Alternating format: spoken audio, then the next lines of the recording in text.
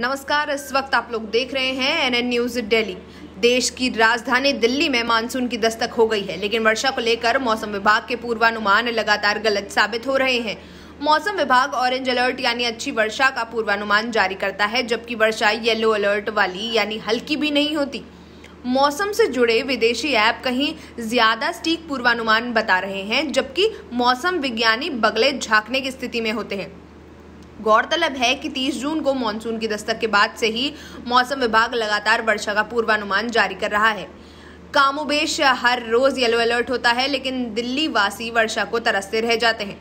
बुधवार के लिए पहले ऑरेंज अलर्ट हुआ, फिर येलो अलर्ट, मगर वर्षा इसके अनुरूप भी नहीं हुई। इस तरह गुरुवार के लिए भी पूर्व में ऑरेंज अलर्ट था, इसके बाद में येलो अलर्ट में तब्दील कर दिया।